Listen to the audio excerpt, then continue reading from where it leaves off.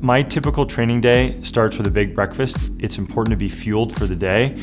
For me, it's really important to have a well-rounded diet. I try and eat healthy, lean foods uh, all the time to make sure my body has what it needs while I'm training and competing.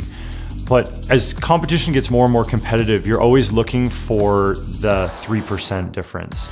And supplements sort of fit into that role of, of trying to get every last ounce of energy I can out of my body. My relationship with USANA is so important because of trust.